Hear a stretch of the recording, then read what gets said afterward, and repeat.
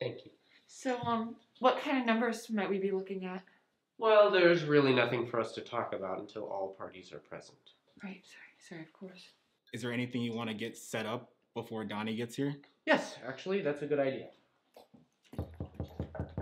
Ah, would you guys excuse me? I'm gonna go get that. What are those for?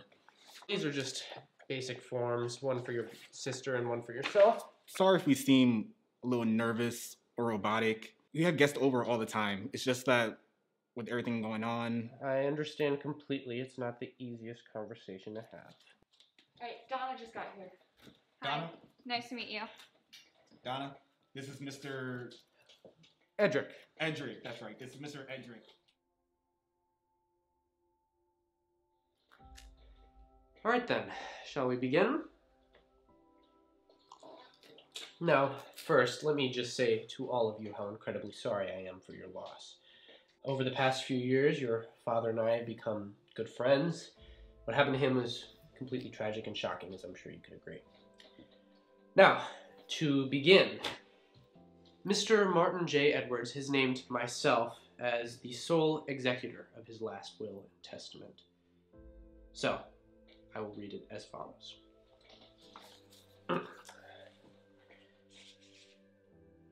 I, Martin J. Edwards, would like for it to be known that I have loved my niece and my nephew, James and Donna, as if they were my own. For my strong willed nephew, James, I appoint my financial holdings of $230,100.75. Let this be the beginning of a beautiful new family and life for you and yours. To my niece, Donna R. Edwards, I would like to leave my humble estate and my wedding ring, both of which were the foundation and reason for many happy and nostalgic moments. May you find in them the same happiness as I have. I love you both, Martin. James, with this amount of money, we can actually live. Honey, come on. Come on, what? We can talk about this later. Hey, before you go, um, I wanted to ask you if I wanted to get my own will made, you know, just with everything going on in the world, if something were to happen to me, I would like for Helen to have it.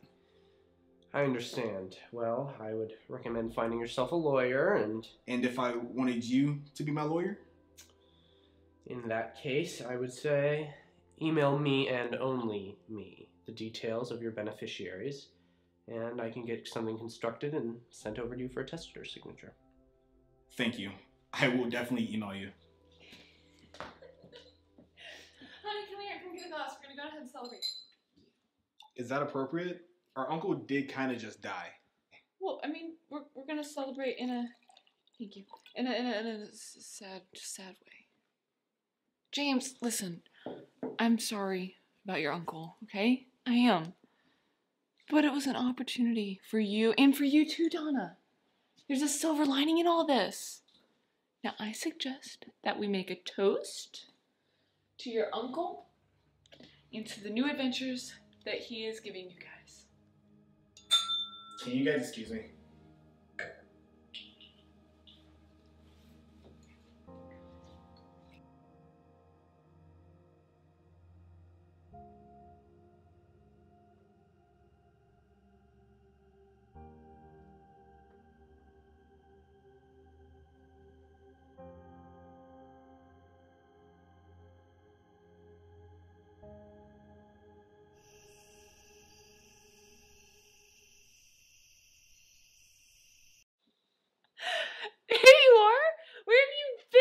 I had some work I had to do. But you guys look like you had some fun. We were just talking about all the fun stuff you guys are gonna do with your money. What do you mean? How we can actually enjoy it. Helen, J- come on. James,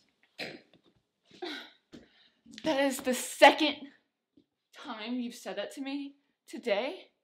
What is your problem with trying to enjoy life? It's my uncle. He didn't give us the money to just piss away. You could have some fun. Is that what you would do? I would enjoy it more than you. All the man gave me was a house. What's wrong with the house? It's old. It needs to be demolished. I have an apartment already. I don't need to maintain a house too. If my roof is leaky, I get somebody to fix it for me. And plus, there's dry rot in the basement, and God knows what else is wrong with it. James, let her do what she wants with the house, okay? It's hers. This money, it's ours, okay? We can use it, we can travel, we can buy the things that we want. Helen, we are in debt. We have bills to pay. Don't you think that that should take priority? There will always be debts. And there will always be debt if we spend the money like you want to. This money needs to be invested, you know, protected. Okay. Just like how your uncle had it protected, and look at what good it did him. All right. Well, I'm just gonna let this sink in. I will see you guys later.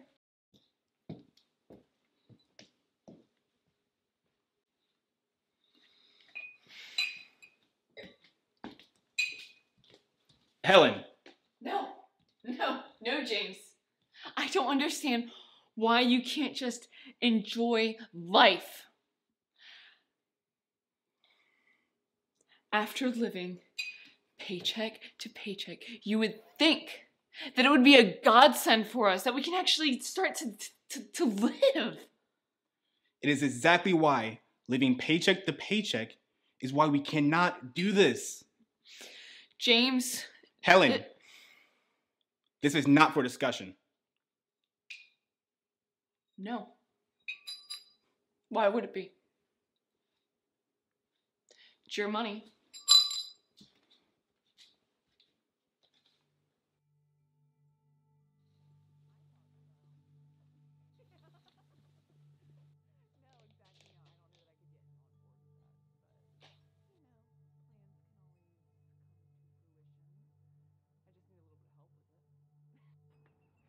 No, it's something that I've always. Yeah, no, we can, but um, no. Anyway, no, we can always try. I've always wanted to go to Cancun. See about the summer.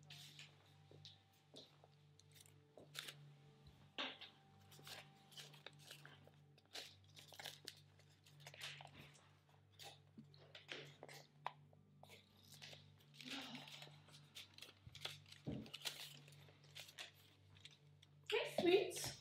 What's with the mail? Who are you talking to? One of my girls. Why? Could you not go telling everyone about the money?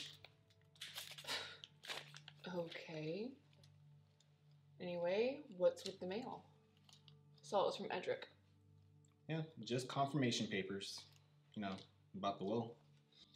Oh. I heard from your sister today. Oh, yeah? Mm-hmm. Sounds like she's gonna keep the house. Oh, that's great. Maybe she'll have a housewarming party. Why are you gonna get her something?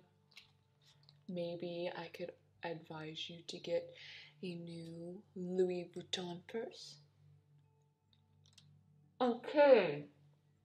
James, I'm kidding. What do you want to get her, really? I don't know. Maybe a letter opener. I obviously needed one. A mail opener. So, I'm gonna go ahead and let you think on that. And I'm gonna go ahead and get some work done.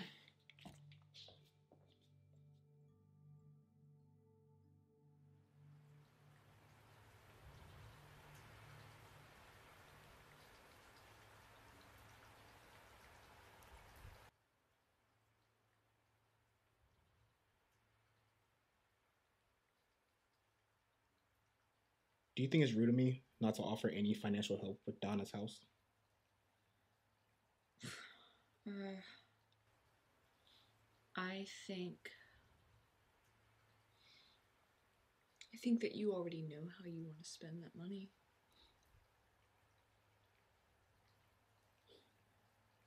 You know I'll always take care of you, right?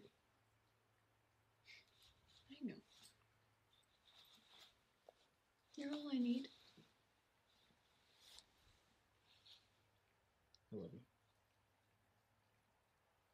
I knew you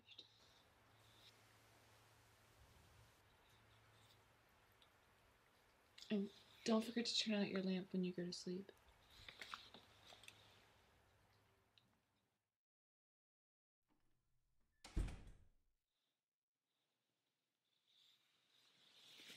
James. James, wake up. There's somebody in the house. What? James, wake up.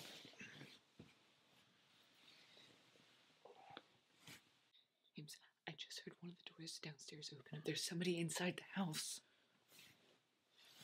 Helen, listen to me. Get your phone, go in the closet, call the cops, and be quiet. I'm gonna go check it out. Helen, do you understand?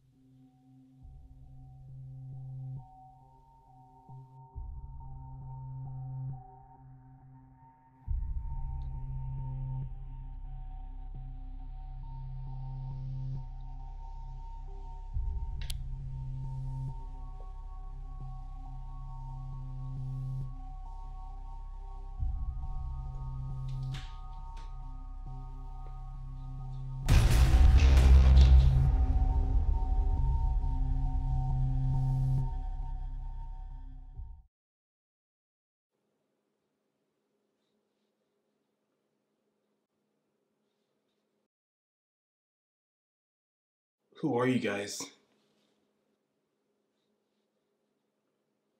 I'm not gonna just sign over my money to thugs.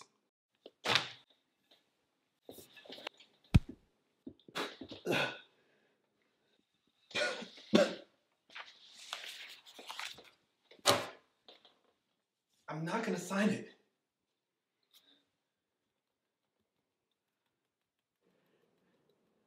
My wife. She has the same nervous tick as you.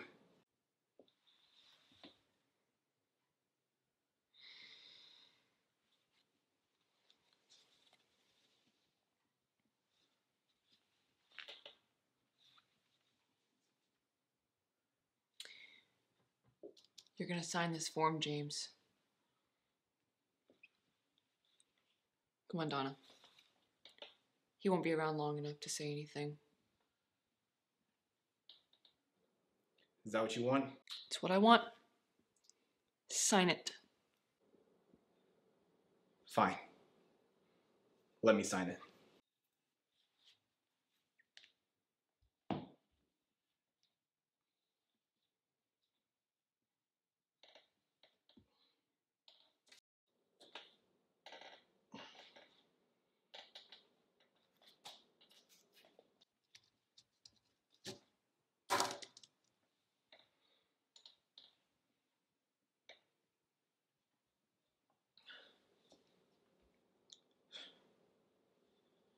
Now what?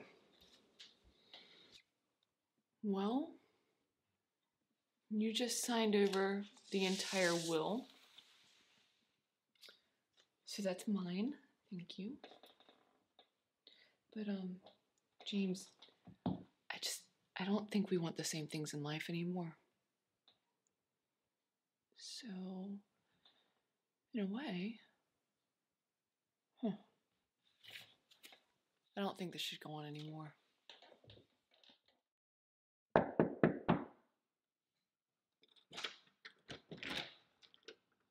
Mr. Edric, what, what a surprise. You know, I'm actually kind of glad you're here. I was gonna have to go through all of James's stuff and all this crap to find your phone number. Really? Why would you have to do that? Uh, well, yeah, because um, so he and I, uh, we've been talking the last few nights, and since you came over with the will and all the numbers and everything, so we figured we'd be safer if we just put the money in my private bank account. So we made up a thing last night. He went ahead and signed it. We just we needed to get in touch with you to go ahead and get it notarized. That that would be the next step, right? Well, yes, it would be, but that's actually why I'm here. Um, um I'm sorry, I'm confused. Well, I have his notarized last will and testament. I just need his signature to ratify it. I um uh, excuse me, Mr. Edric. Um, I'm not I'm not quite feeling myself today. So um, if we could just pick this up on another day, I'd like for you to excuse me. Of course.